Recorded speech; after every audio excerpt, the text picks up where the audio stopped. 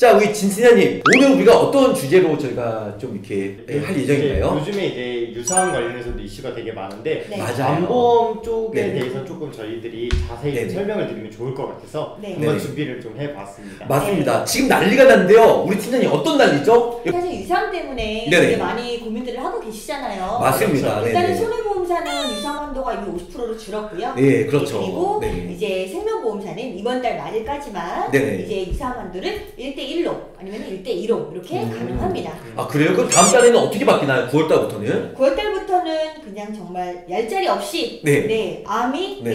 1, 유상은 0.5 아, 그거 50%요? 50%로 어. 줄어듭니다. 자, 그러면은 10월 달부터 또 줄어든다면서요? 어, 그렇죠. 네. 지금 현재 50%로 이제 줄어든다는 것 때문에 난리가 났는데 네네. 10월 달부터 20%로 20%요? 정말 예전으로 회귀한다는 소문이 네네. 좀 어마어마하게 네, 그죠. 소문 아니고 정말 정확할 것 같아요. 이번, 네. 왜냐면 공문이 나왔으니까. 네, 그렇죠. 맞아요. 또 유담이 일반암보다 많이 가입이 되는 회사가 지금 유일하게 딴거 있잖아요. 네. 예, DY. 네. 예, 1대 2로. 자, 그럼 수호천사 이 DY는 어떠한 장점이 있나요? 아무래도 암이 1, 유사암이 2 이렇게 네네. 두 배로 들어갑니다. 네네. 그러다 보니까 조금 보험료를 좀 더 줄여서 가져갈 네. 수가 있다는 장점이 있어요. 네. 여러 가지 있지만 또 H생명 또 있잖아요. 우리 그렇죠. 같이 호랑나비 추운데. 네. 여기도 많이 팔리는데 그 장점이 뭘까요, 네. 팀장님? 일단 뭐 H생명 같은 경우에는 네네. 예를 들어서 일반암과 유사암을 같이 가져가는데 네네. 일반암을 이제 갱신형 쪽으로 좀 가져가서 오. 이제 갱신될 때쯤에 네네. 담보를 삭제를 하게 네. 되면은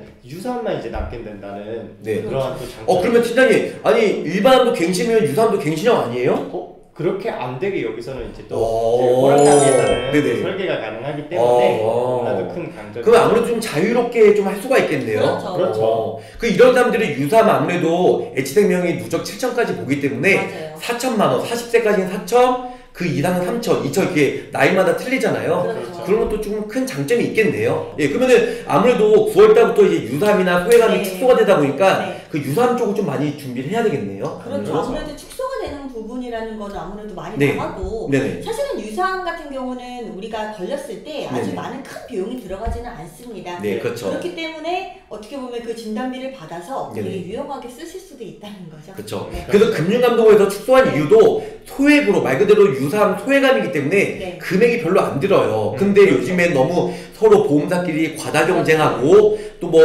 소외감 유사암을 뭐 5천만 원 음. 누적으로 뭐 1억 1억 5천 이렇게 많은 유튜버들이 많이 있다고 하더라고요. 그렇죠. 도대체 누군지는 모르겠지만 아무튼 되게 똑똑한 것 같아요. 네. 예, 그죠? 네. 그렇죠. 제 깨알같이 자랑 좀 했습니다. 네. 자, 그러면은 우리 유사암이란 거좀 구체적으로 네. 자세하게 어떤 암이 유사암인지 자세하게 좀 알려주실까요? 알겠습니다. 일단은 우리 구독자님들께서 생각하시는 게 이제 갑기 경제라고 많이 들어보셨을 맞아요. 거예요. 예, 자, 예. 갑상선암, 네. 기타 피부암, 경계성 종양, 그리고 네네. 제자리암 이런 네네. 게가 이제 유사암입니다. 네네. 우리가 가끔 이제 생명보험사 중에서는 예. 그 안에 이제 대장 전망내암을 추가하는 경우도 있어요. 음, 맞아요. 조금 다르긴 네네. 한데요. 우리 대장 용종 제거하면 용종이 있고 선종이 있어요. 네, 맞아요. 용종은 말 그대로 암이랑 전혀 뭐 이렇게 밀접한 관계가 없는 거. 네. 선종은 이제 암이 되기 전 단계. 네. 근데 선종도 뭐 고등급 이형성증, 저등급. 근데. 고등급 이형성증이 아무래도 좀 이렇게 암 될 수 있는. 그렇죠. 그런데 그 중에서도 D0에서부터 공급까지 네. 이런 부분들이 제자량을 받을 수 있다는 네. 겁니다. 그렇죠. 네. 뭐든지 골든 타이밍이 있어요. 네. 그래서 절대 놓치지 마시고 네. 암에 걸릴 확률이 몇 프로죠? 33%예요. 네. 우리 1, 2, 3, 3명 중에 한 명은 100% 걸린다. 3명 중에 한 명은. 네. 그러니까 어떻게 보면 암은 흔한 질병이기 때문에 암보험을 두둑히 넣으시면 나중에 효자 노릇을 네. 할 것이다. 이렇게 설명을 드릴 수 있을 것 같아요. 자, 그러면 내용이 좋으셨으면 구독 좋아요. 알림 설정. 부탁드립니다. 감사합니다. 본 광고는 손해보험 광고 심의 기준을 준수하였으며 유효 기간은 심의일로부터 1년입니다.